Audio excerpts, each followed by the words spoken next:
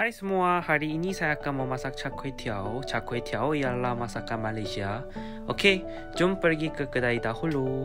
Di sini ialah kedai yang berdekatan dengan rumah saya. Saya akan membeli bahan-bahan untuk memasak. Pertama, ambil bakul. Bahan yang pertama ialah kucai yang segar.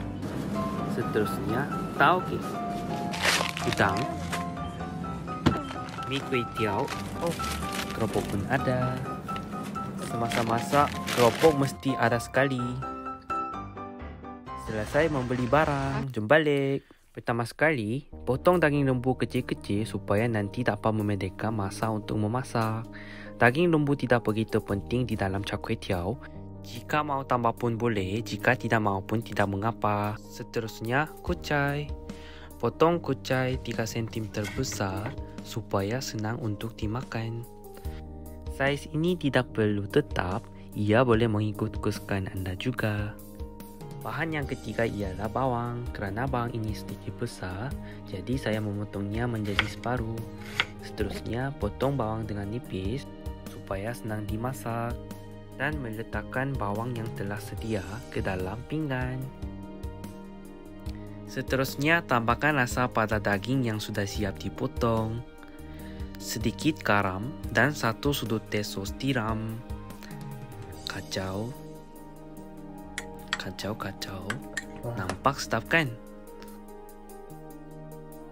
Panaskan kuali dengan minyak.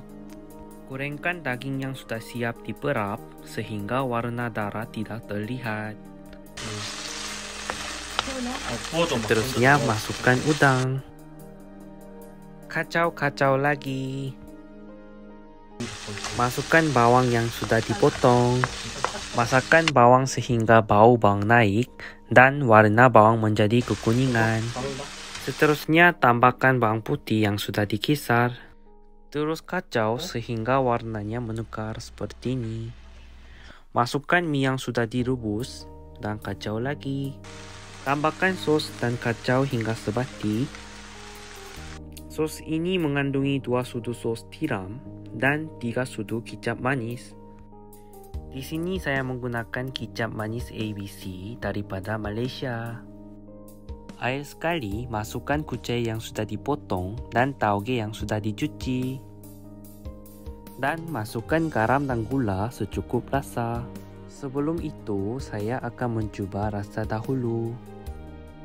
Hmm, sedikit awalah. Kacau, kacau, kacau. Sudah selesai. Apabila memasak, proses yang penting ialah menyediakan masakan dengan cantik. Resepi char kway teow ini daripada Instagram Khairul Amin. Rasanya mungkin kurang sedikit, tapi sedap juga. Ini pertama kali saya memasak sambil merakam video, jadi agak kekok sedikit. Dadah, sudah siap. Wah, sekarang sudah boleh makan. Saya akan mencuba makan sekarang. Hmm, hmm sedap. Anda juga mau cuba? Ah, tidak, saya punya. Ia lebih sedap dari apa yang saya pikirkan, jadi anda jangan lupa untuk mencuba.